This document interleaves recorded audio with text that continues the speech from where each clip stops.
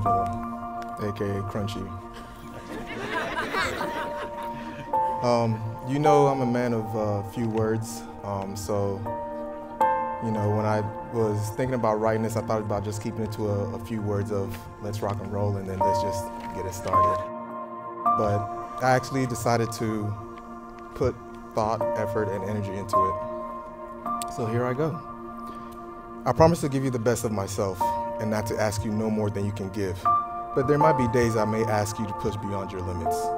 I promise to respect you as your own person and to realize that your interests, desires, and needs are no less important than my own. I promise to share with you my time and attention and to bring joy, strength, and imagination to our relationship.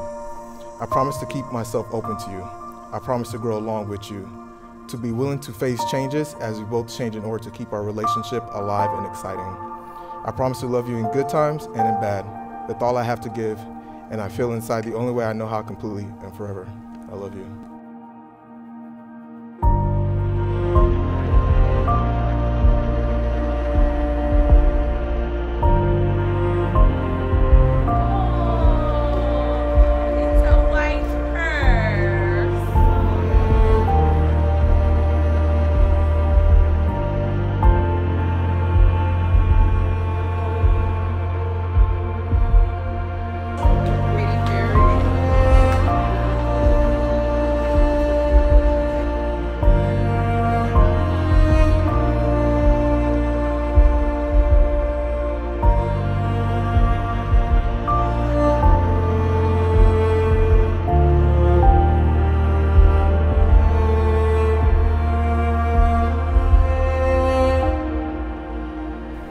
Today marks a different choice, which is we choose to be one. Marriage is love, marriage is softness, passion, tolerance, and living all together through the bad times and the good times.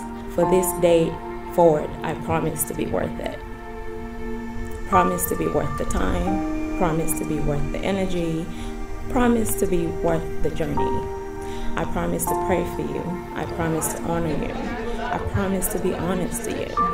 I promise to respect you, support you, sacrifice for you, and give you time while I invest in you. Today, in front of family and friends, I want to tell you, and I would like you to know it's always been you. It's always has been you, and it will always be you forever. I love you.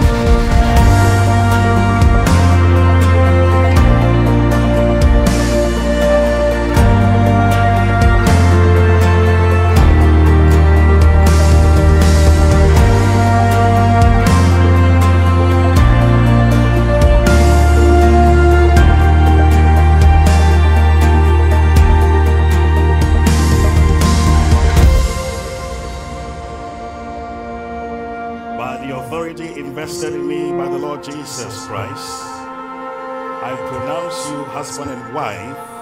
You may now kiss the bride. Let everybody see it.